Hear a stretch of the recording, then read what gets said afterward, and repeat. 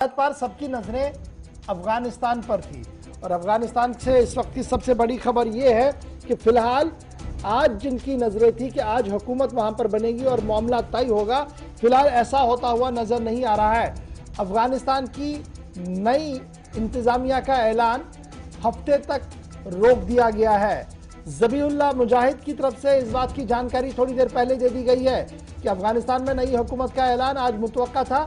ताहम अब इतलात हैं कि नई अफगान इंतजामिया का ऐलान हफ़्ते तक मौखर कर दिया गया है। 15 अगस्त 2021 को तालिबान अफ़गानिस्तान के दारुल हुकूमत काबुल में दाखिल हुए, जिसके बाद सदर अशरफ गनी मुल्क से फरार हो गए और अफ़गानिस्तान हुकूमत गैर फाल हो गई। इधर गैर मुल्की खबर एजेंसी एएफपी के मुताबिक अफ़गानिस्तान के नई इंतजामिया का ऐलान आज जुम्मा की नमाज़ के बाद मुतव था। ताहम तर्जुमान तालिबान का कहना है कि नई इंतजामिया का ऐलान हफ़्ते तक मौखर कर दिया गया है। इससे कबल इतलात थी कि नई हुकूमत की तश्कील के लिए तालिबान आज जुम्मा के बाद काबुल में अहम इजलास तलब करेंगे, जिसके बाद ऐलान भी होगा। जाया का दावा था कि मुल्ला हैबतुल्ला को तालिबान हुकूमत का सुप्रीम लीडर, जबकि मुल्ला अब्दुल गनी बिरादर को हुकूमत का सरबरा यानी प्रेसिडेंट बनाया जाएगा। जराया का यह भी मानना है कि तालिबान के सियासी दफ्तर के डिप्टी डायरेक्टर मोहम्मद अब्बास को अफ़गानिस्तान के नए फॉरेन मिनिस्टर का चार्ज भी दिया जा सकता है, जबकि जईफ को पाकिस्तान में दोबारा सफीर भी नामजद किया जा सकता था। तो ये कयास आ रहा है यहाँ। खबरों के बीच यूके ने दूरी बना ली है और यूके ने आज साफ़ कर दिया है कि वो तालिबान को फ़िलहाल तस्लीम नहीं करेगा। न सिर्फ़ तालिबान को तस्लीम नहीं करेगा बल्कि वहाँ पर गहरी नज़र भी रखेगा कि किस तरीके की सूरत हाल वहाँ पर बन रही है।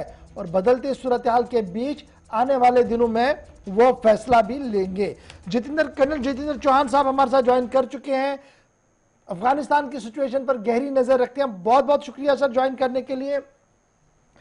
शुरुआत आज अफ़गानिस्तान से पहले यूके की करेंगे। फॉरेन सेक्रेटरी जो उनके हैं वो पाकिस्तान के विज़िट पर थे।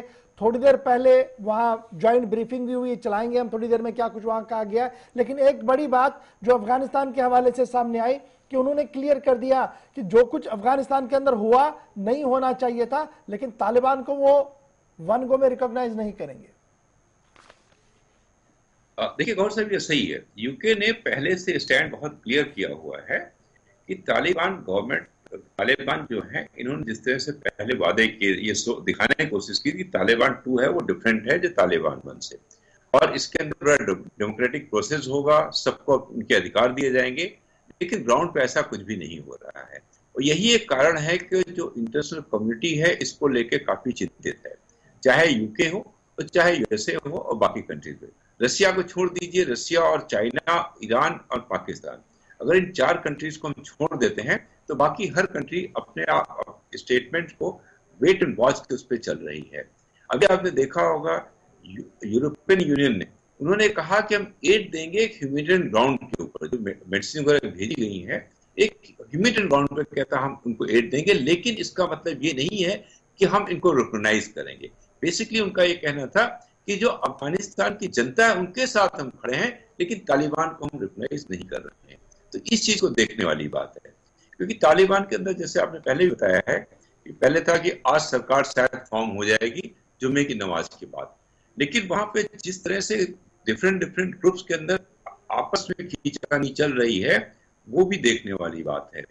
क्योंकि जो मुन्ना यकूब है, उनका ये कहना था कि जो मिलिटेंट ग्रुप हैं, जिन्होंने जो ग्राउंड पे लड़ाई लड़ रहे हैं, उनको सरकार के अंदर हिस्सा मिलना चाहिए। देखिए मुल्ला ब्रदर का जो कि पॉलिटिकल विंग के बेसिकली है उनका यह कहना था नहीं इसके अंदर शासन पॉलिटिकल विंग वालों का। तो जो बाकी डिफरेंट डिफरेंट ग्रुप्स हैं हर आदमी उसके अंदर अपना एक शेयर चाहता है। तो इससे जो आगे के हालात हैं वो और बिगड़ने के चांसेस ज़्यादा हैं।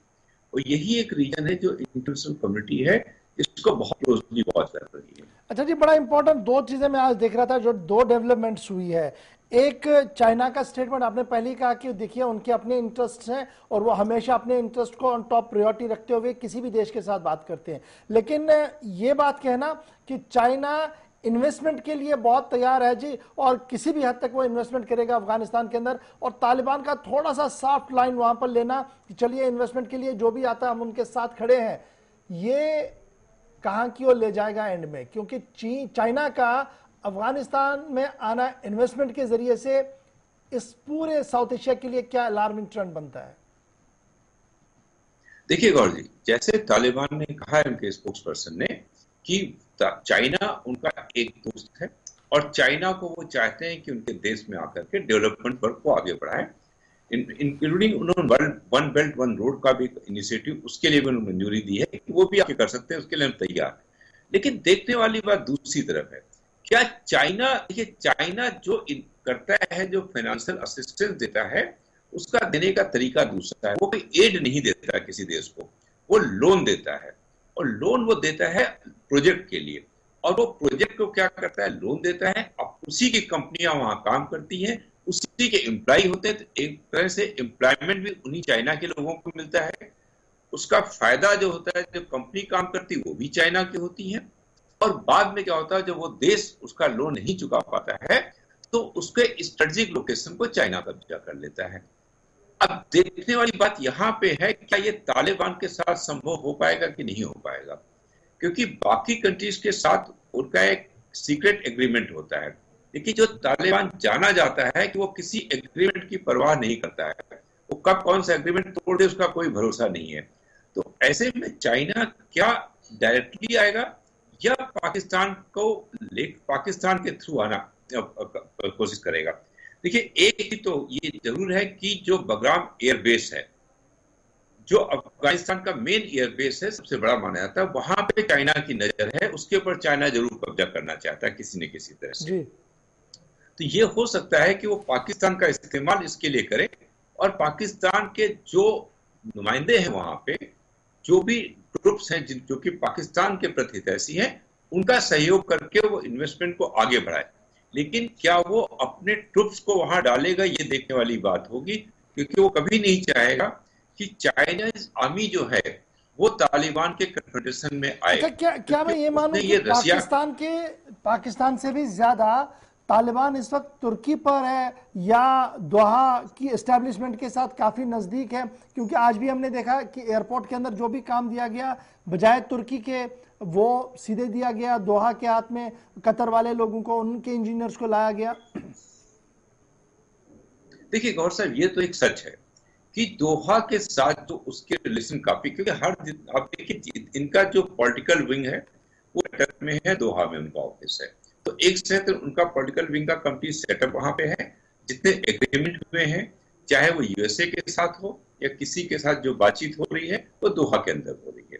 तो दो कटर का तो एक तरह से इनके साथ सपोर्ट है मतलब ये नहीं मैं कहता हूँ कि टोटली कटर इनके साथ खड़ा है बाकी इंटरनेशनल कम्युनिटी के साथ नहीं है लेकिन एक सॉफ्ट कॉर्नर है। जी। तुर्की को जो तालिबान अभी भी शक की नज़र से देख रहा है क्योंकि अगर आपको याद हो तालिबान ने बहुत बड़ा स्टेट तुर्की चाहता था कि वो काबुल एयरपोर्ट पे उसका कब्जा बना रहे। लेकिन तालिबान ने बहुत क्लियर कह दिया था नाटो के हिस्सा है और जब नाटो फोर्स से विड्रॉ करेंगे आपको विड्रॉ करना पड़ेगा। और उसने तुर्की को एक और बड़ा क्लियर मैसेज दिया था कि देखिए ठीक है हमारे आपके संबंध अच्छे हैं लेकिन आप हमको डिक्टेट नहीं कर सकते हैं। क्योंकि तालिबान ने भी ये महसूस किया है कि तुर्की जो है वहाँ पे धीरे धीरे अपनी जो अपना जो कदम बढ़ाना चाहता है एंड उस पर कंट्रोल करना चाहता है। तो इस चीज़ को तालिबान भी महसूस कर रहा है। तो यही एक रीजन है कि इस टाइम वो बहुत सोच समझ के कदम रख रहा है और दोहा के साथ वो ज़्यादा अच्छे संबंध बना रहा है बशर्ते की तुर्की के। बहुत शुक्रिया जी, कर्नल चौहान साहब, हमारे साथ ज्वाइन करने के लिए। जिंदर सिंह चौहान साहब बता रहे थे कि सिचुएशन क्या है और ये जो इंतज़ार की घड़ियाँ बड़ी हो रही है, इसके पीछे क्या है कि सबको लेने की कोशिश की जा रही है। कितना कामयाब होगा तालिबान